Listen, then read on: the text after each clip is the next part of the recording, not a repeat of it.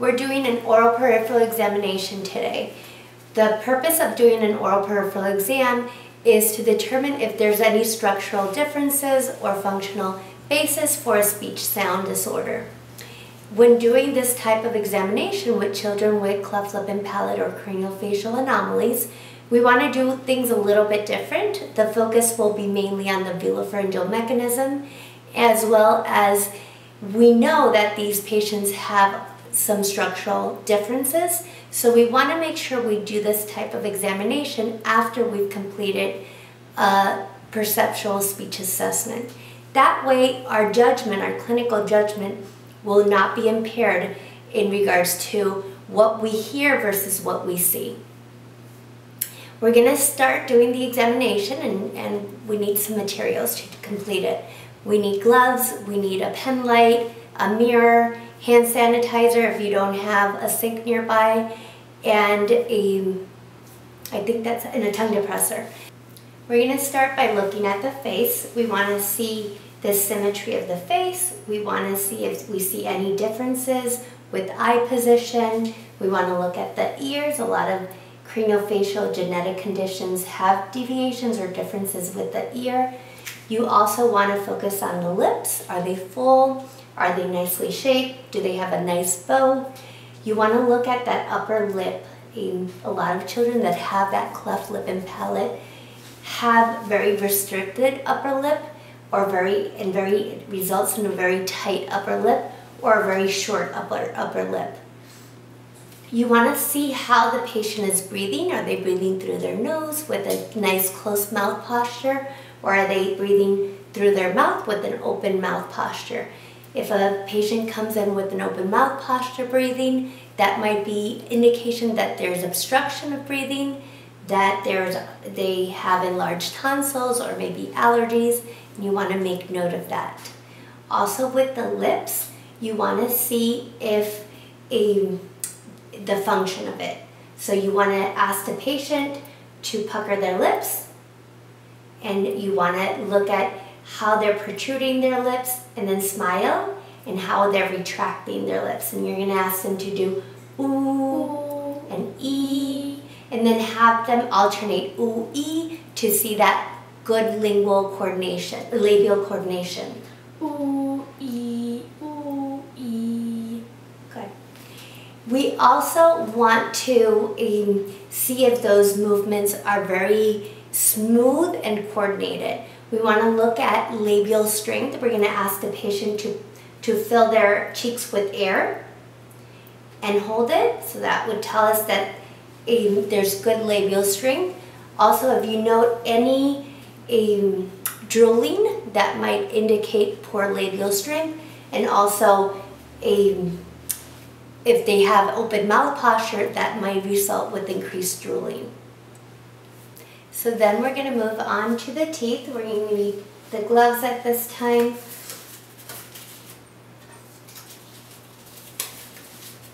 And your tongue depressor. I like opening it up to the, to the middle of it. That way I know what part is clean and what part is dirty. Here I'm looking at occlusion, so I'm going to have the patient bite down and I want to see what the type of occlusion is. I'm also looking to see if there's any spaces, are there any missing teeth. I'm also looking at, at oral hygiene. I want to also take a look at the gum line. A lot of times patients with cleft lip and palate have fistulas on the gum line, some openings on the gum line. So you want to take a good look throughout the gum line. And you want to mark if, again, the type of occlusion that you're seeing. Do they have an open bite? Do they have an, a closed bite? An underbite? Do they have a cross bite? And make those notes in, in your report. Also, you want to look to see if there's any orthodontic um, appliances, like she has braces. You want to see if if the patient is undergoing any orthodontic treatment at that time. Then we're going to look at the tongue. We're going to have the patient stick out their tongue. We want to look at the color and the size of the tongue. we want to note if the tongue looks bigger than their oral cavity, that would result again in that open mouth posture where the tongue is just laying flat in the oral cavity and sticking out. You would see also some drooling in those cases. You want to see any differences in the tongue, right? And you want to look for signs of ankyloglossia. You want to look at the function. So what, how is that tongue elevating? So have the patient move their tongue tip to the roof of their mouth and you want to look at that frenulum there and see if there's any restriction or bringing the tongue, tongue down or an inability to position that tongue on the hard palate.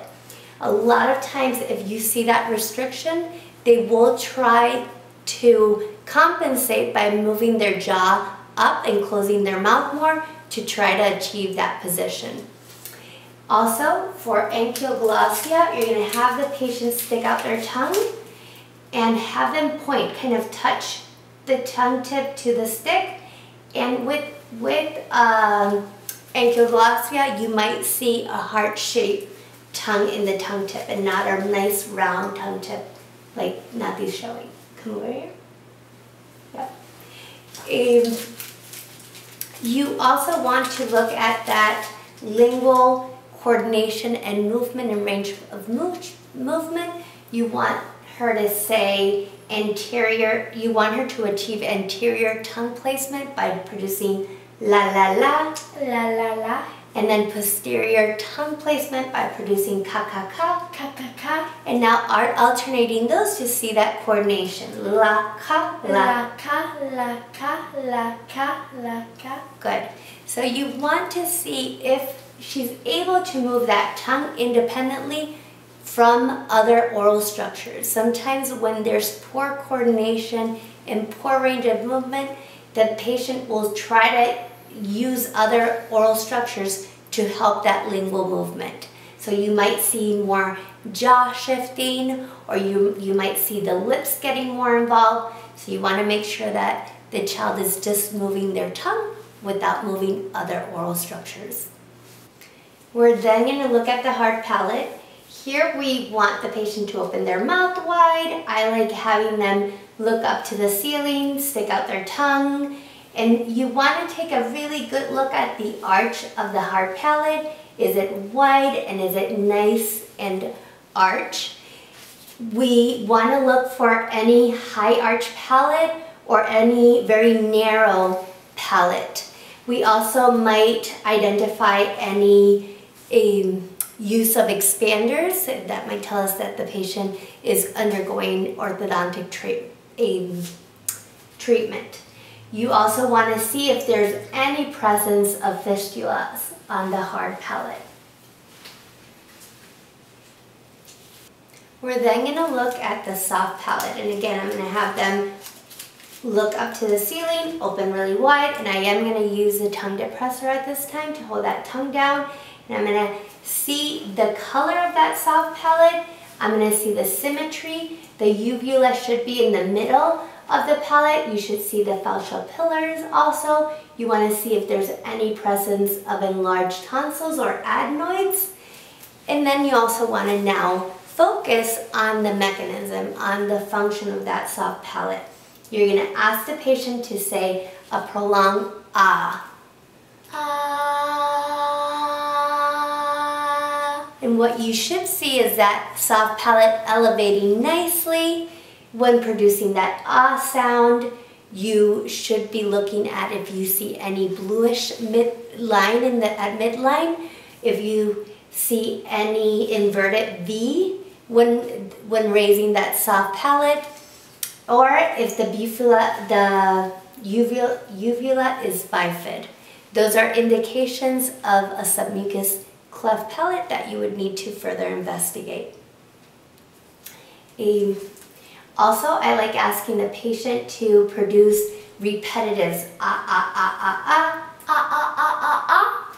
That way I can see that quick elevation of that soft palate.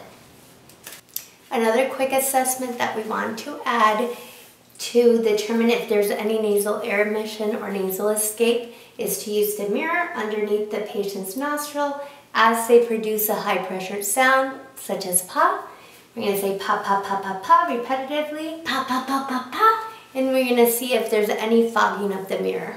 If there is, that is an indication that there's visible nasal air emission.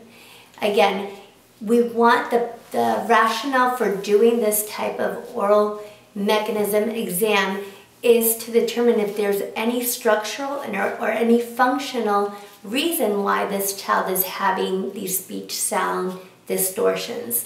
Also, with children with craniofacial or cleft palate, they have already, we do know that they have a facial differences and oral differences. So as they grow and develop, we want to be able to see those changes. So we want to be clear in our documentation in order to be able to compare as the patient grows and as they have different surgical interventions. We note what differences we see in their oral structure and mechanism.